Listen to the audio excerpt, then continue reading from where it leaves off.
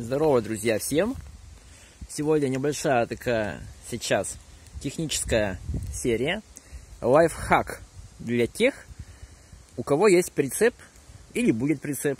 Ну, короче, все по порядку. На колеса, а они вот такие, можно не обращать внимания. Это нормально. То есть левое колесо и правое колесо.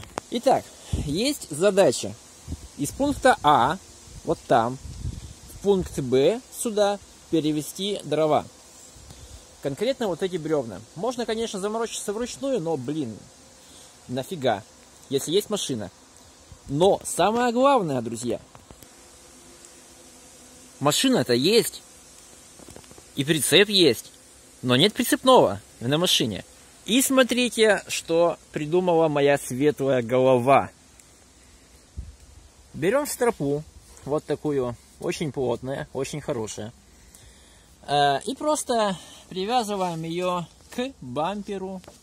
А как известно, бампер уходит своими вот этими трубками и соединяется с костями машины. Кому интересно, разберите э, багажник, посмотрите, как это делается, как это крепится пробовал и прямо к трубкам, но так лучше. Да, его немножко тут перекосило, вот в этом месте, но это ничего страшного, это русская машина. Вот таким способом, смотрите, здесь ничего нету, фаркопа нет. И вот, друзья, вот оно, стропа, и все, все тут.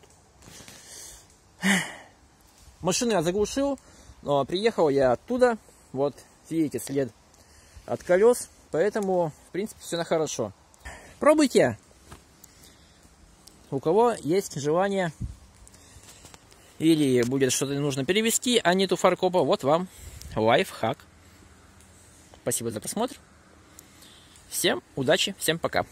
А для тех, кто сомневается, я запишу небольшой ролик, как оно едет.